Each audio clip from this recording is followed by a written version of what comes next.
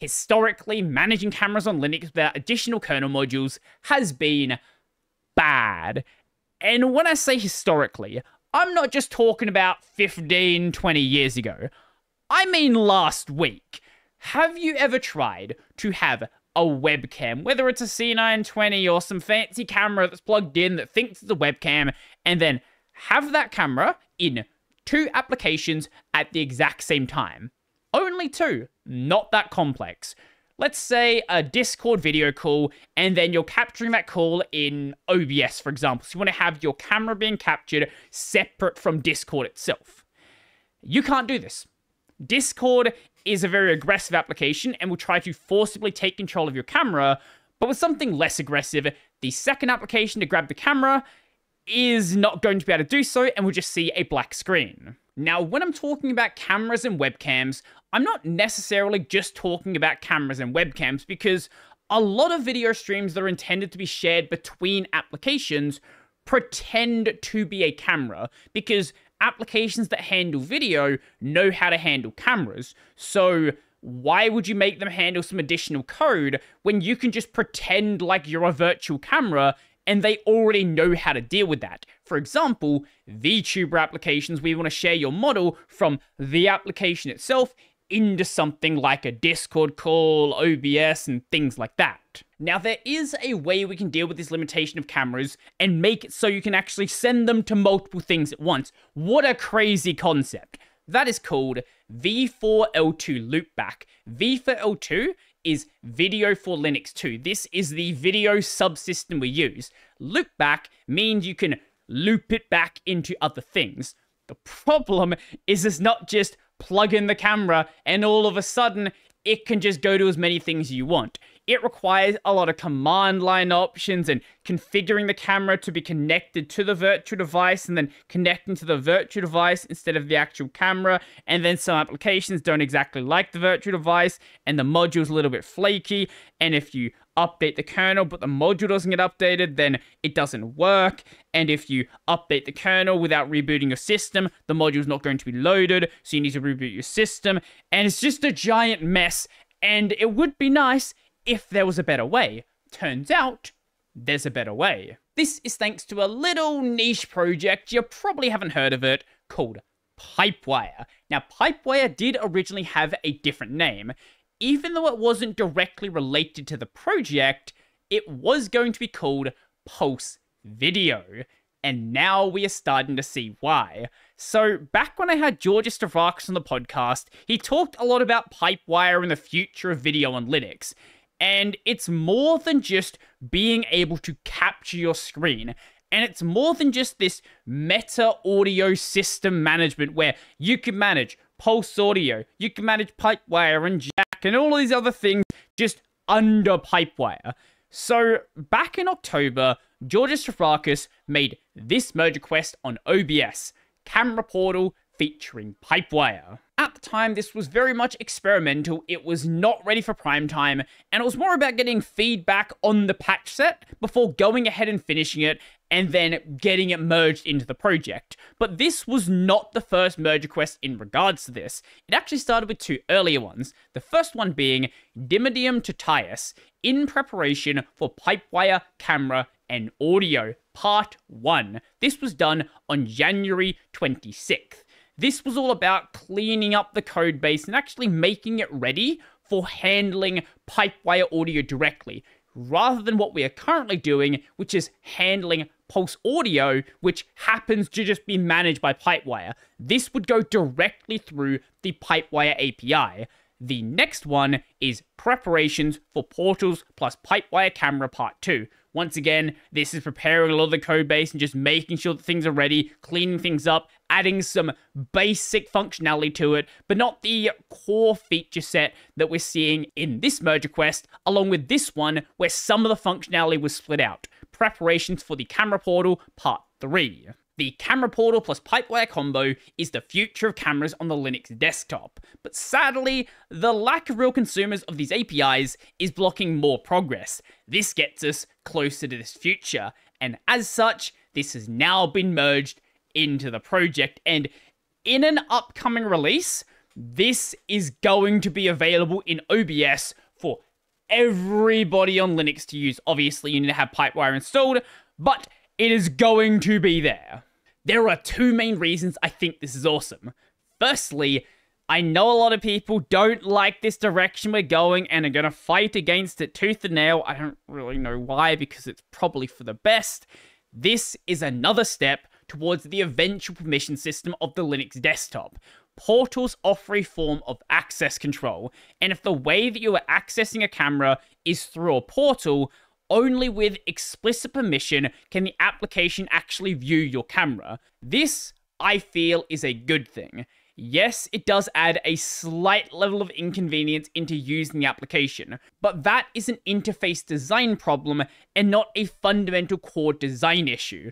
Think about Android, think about iOS. You don't think about these being super inconvenient systems to use when it comes to accessing your camera. The reason why it might be on Linux is there's just frankly not that many UX and UI designers, so nobody really knows about a good way to handle this. Secondly, and a lot more importantly, we have this thing. Now you might be asking, Brodie, what is this?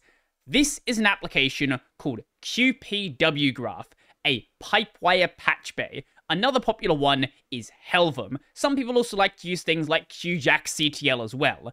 Now, basically what it is, is an application where I can take the audio from this is my mixer board here. This is what's connected to my microphone. And then redirect this over to a whole nother thing. If I want to send this over to something like my OBS desktop audio capture, I could just be like, okay. And now you're probably hearing it two of my mic.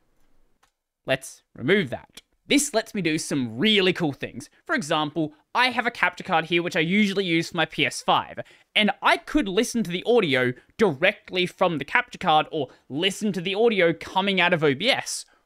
Or I could redirect the audio from the capture card to the speakers of my system and also have it connected to OBS. So I'm capturing it and listening to it completely separately. Now that's all of the green nodes. The red nodes and the purple nodes, those are MIDI things. I personally never use these.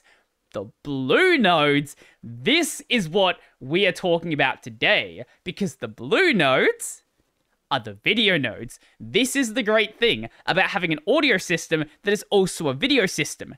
It handles both video and audio in this same node based fashion. So, if you have multiple captures that are all doing pipewire based video, you can then redirect that video into other locations. And if I want to go and say, capture my webcam in OBS, and then I also want to send it over to Discord, assuming they supported the Pipewire API, I could do that and then send it to another thing and another thing. And then if for some reason I wanted to send multiple inputs to the same thing, but then hide the input on the node graph, that's also something that I could do as well. Now, for doing all this node stuff, the portal is kind of unnecessary. You could just do that with Pipewire video directly, like is being done with all of the audio stuff here. But if we're going to integrate Pipewire video, we might as well go all the way and introduce the permission system as well, because right now, whilst we are using Pipewire Video for one thing, that being screen capture and window captures, that's basically the only thing. There is currently not an implemented use case that one can actually go and deal with that's outside of just doing this. For example, if I go and press delete here, now my video capture is frozen. If I then bring this back, everything comes back that isn't very useful as it stands because there's just not that many consumers and producers of the video. This would add that. Now, the fun thing about this whole portal is it's not like the camera portal and Pipewire video is this new concept that nobody ever thought about doing before because the portal has been around for a while.